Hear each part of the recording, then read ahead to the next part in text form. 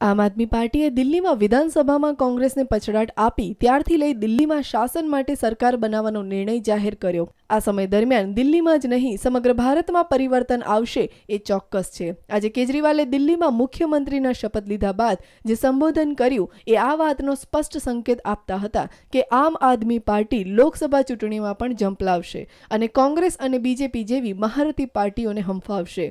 કેજરીવાલે પોતાના વક્તવ્યમાં કહ્યું હતું કે આજે એક ઐતિહાસિક દિવસ છે. દેશના લોકો નિરાશ થઈ ચૂક્યા છે. દિલ્હીનો દરેક નાગરિક મુખ્યમંત્રી છે. હું સીએમ બનવા નહીં, સેવા કરવા આવ્યો છું. બે વર્ષ પહેલા અમને ખબર નથી કે ભ્રષ્ટ સરકારને ઉખાડી ફેંકી દઈશું. પાંચ વર્ષમાં ભારત ફરી સોનાની ચીડિયા બની જશે. પ્રજાનો આભાર માનતા કેજરીવાલે કહ્યું હતું કે કોણે કહ્યું કે સત્યનો રસ્તો આસાન હોય છે. અમે તો મુશ્કેલીઓ સામે લડવા તૈયાર છીએ. દિલ્હીમાં રામલીલા મેદાન ખાતે કેજરીવાલ અને તેની ટીમના સભ્યોના શપથ ગ્રહણ સમારોહ અને દિલ્હીના ઐતિહાસિક આજની તારીખની ગવાહી આપતી ક્ષણને જોવા લાખો લોકો ઉમટ્યા હતા. Bureau report, news online Ahmedabad.